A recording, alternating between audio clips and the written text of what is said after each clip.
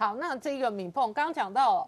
平台在调整，选战的战略方法在调整，然后呢，政党的板块也可能有大规模的位移，所以你怎么观察这一场选战？我觉得今年是首次，我觉得有有机会了。我觉得当然现在目前看起来机会还不大，因为是民想还是第一名，嗯，但是第一次有机会是。办在两千年之后，这个政党的板块再度移动，嗯，有机会出现联合政府，嗯，这个是台湾整个这个政党这个史上面可能会面临大一个一次再一次的重大的变迁的一个机会。那今天就说，今天主要就是我们看对照这个，就说两千年总统跟现在的民，我们。都只有算民调，因为当时两千年的民调其实没有很盛行。嗯，那现在如果把这个当时的得票率换成现在民调的话，你可以发现跟现在结构是差不多一样的。譬如说，这个第二名是三十点二，然后这个连连战连消配已经到十八点九，就等于是侯友谊现在的这个民调十八趴了嘛？那你这个吕陈女配，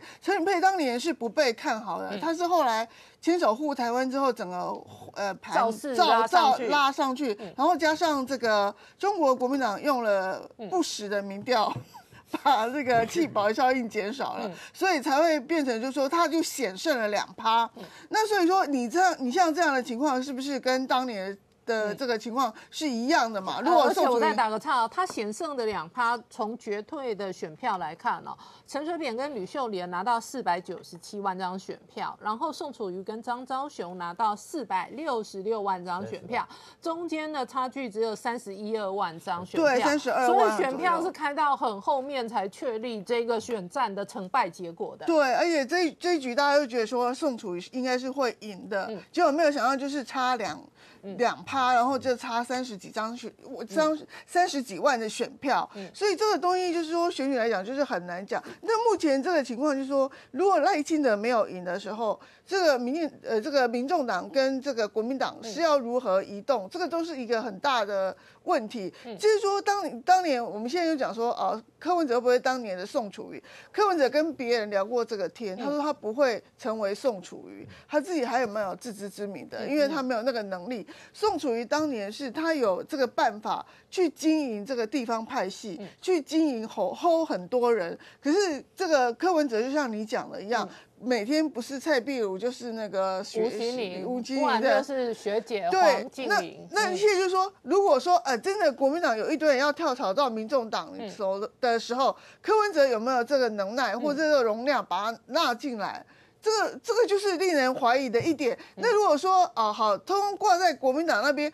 那国民党就面临一个问难题啊，到最后一定会很头痛的。就说我侯友不行了，那我这个呃，我我不挂民众党，我不会去像那个宋楚瑜以前玩一个游戏，就是现身游戏呀。每次在吴坤玉就是跟吴坤玉那边讲说，哦，谁又要跳槽了，然后明天又有一个什么国民党的大咖要出现了。我们每天我们那时候两千年跑新闻就在玩这种游。好，就每天在政治外遇，对对对，然后谁先生啊，周锡伟来了，然后沈志慧又来了，然后李庆华也来了，这样，那那现在就说你你民众党没有办法完成这样的时候，但是。国民党小鸡会不会去跟柯文哲站台？嗯，那站台的时候，你国民党中央要怎么处理？嗯，如果你不处理的时候，哦，就默认了。那那我觉得你国民党的立委席次可能还是在国会里头有第二大党的可能性。嗯，可是如果你一旦处理了，那你你的你你你这个国会席次就崩盘了。可是你不处理，你你这个总统候选人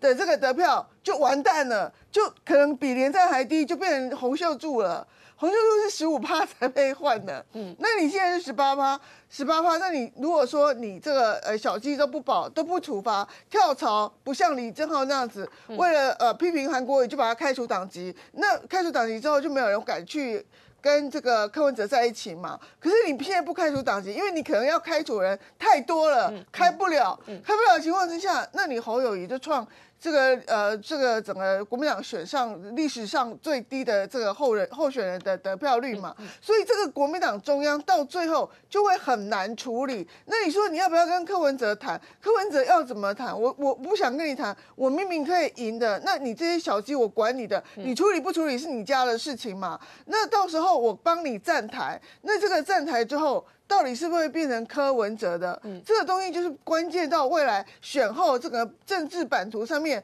到底要怎么变动了。哎、我打个岔，国民党的分裂裂解是有不同波段的。对，首先第一波其实是赵少康为首的那一批新党，然后那一批整批切割，然后紧接着才是宋楚瑜为首的亲民党，然后整批切割。对然后现在如果柯文哲也去分割，然后就算将来投票结果出来，国民党不管几席，然后呢有当选的认为，哦，哇派对柯文哲靠政治前途，我也可以切割啊。就跟刚刚光晴讲了陈明文的这个换党的故事嘛，就是说他退出了国民党，然后先无党籍待一阵子，然后他就加入民进党嘛。那国民党也可能会有一些小鸡，不管他最后是不是胜选，然后他看苗头不对，他搞不好也退出来。退出来之后，假设柯的总统形势仍然是高的，甚或我们假设最后柯当选了，柯当选还是空的啊，不然你是行政院长蔡壁如、副院长吴欣盈嘛，你就每天拿这两个人出来练吗？所以最后。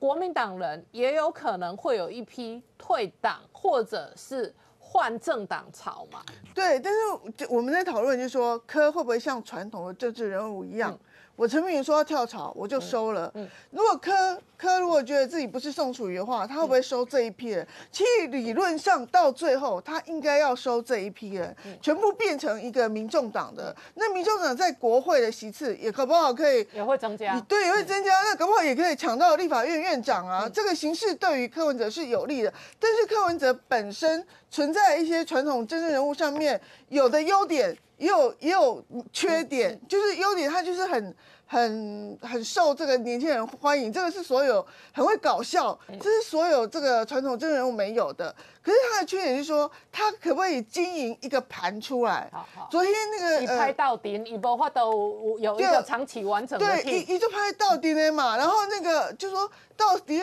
到到底他的野心到底有多大？那因为那个他去嘉义女中的时候，有个学生直接就问他说：“哎，请问你你现在这个情情势大好，如果从头可以开始的话，你会一开始就开始从政？”他竟然回答说：“不会了，哦，他还是要做医生。”那你就说。你就说这样一个政治人物，他对自己的期待，他说他也不会像宋楚瑜、那个民调只是随便看看的，不可能一个月涨十趴。所以到目前为止，我们观察到的柯文哲，他并没有像宋楚瑜这样的野心。那但是他一旦有野心，就说民调如果持续在往前攀的时候，我相信他如果改变的时候，他的国会跟这个所谓的这个行政部门的人才就会充实了。嗯，那那这样子真的所谓的联合政府跟国会的这个。这个政党的这个东西就真的改变了。嗯，那你要知道，就是说，那你这个呃，宋楚瑜跟国民党是系出同源呐、系出同源之后，宋楚瑜这个把赢下来的东西，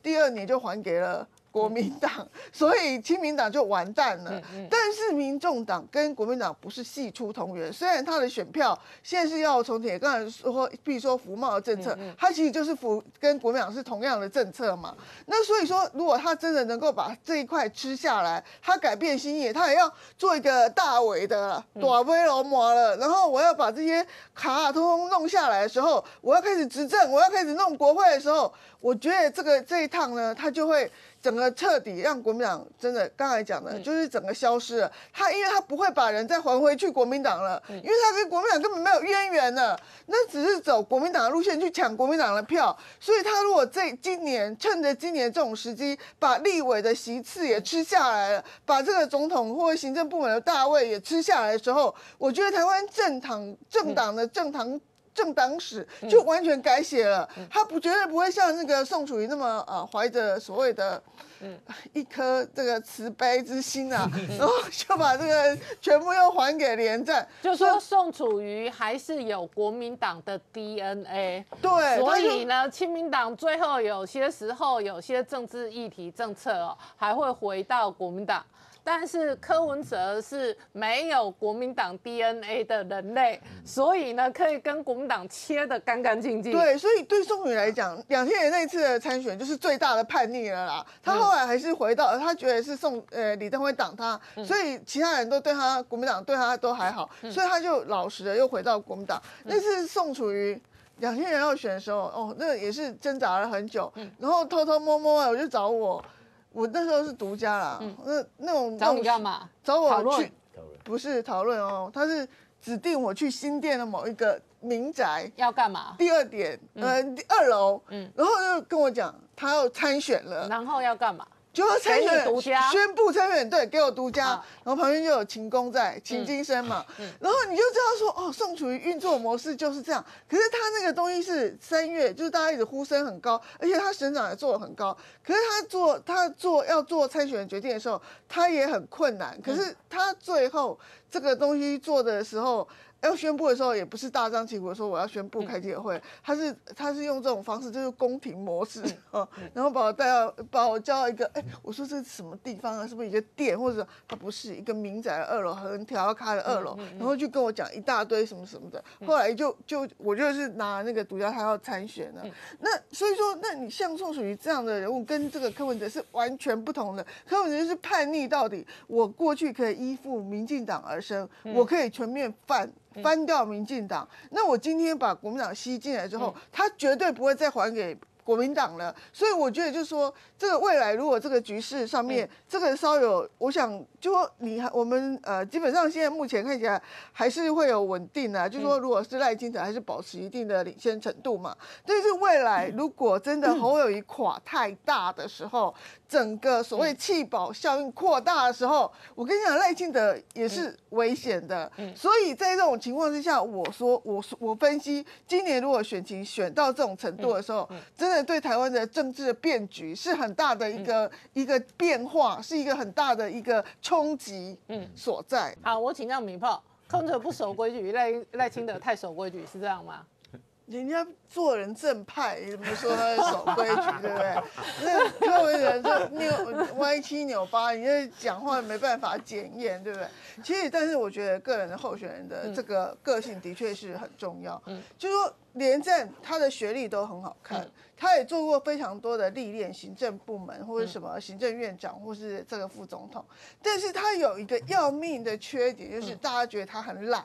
然后呢，这个不知民生疾苦，所以他这个形象一直延续在选举中。哦，比如说啊，他就说，哎，这个即使在选举中，他也是固定什么几点就要去休息了。然后呢，跑这个行程，啊，那你你黄忠耀说流浪。哎，那个我们跟那个宋楚瑜全程跑透露，拜托我们才叫流浪好不好？那个全程这样跑来跑去，我的天哪！可是你也就知道，知道就是说啊，上来高雄的时候，到高雄的时候，那个余震线会上来，你就会你也会吓一跳。那问题是，那你就要跟着一波一波往坐那个车子往往往后往后走啊。那你知道那些新票案更惨，那些新票案我们已经到南投了，然后那天刚好。鄙人生日，然后那个送团队就要庆生，结果发现啊，新票要爆发了，整个拉车就从南头赶回台北，到晚上，然后在过程中我们一直要讲说。这个呃，宋楚瑜赶快要把这个真正的情况弄出来。如果我们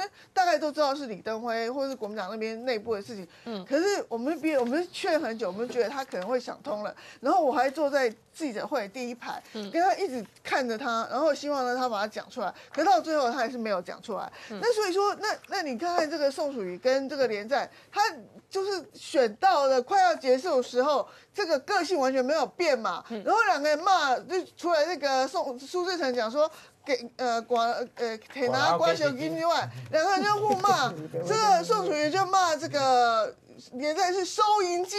然后呢，那他自己是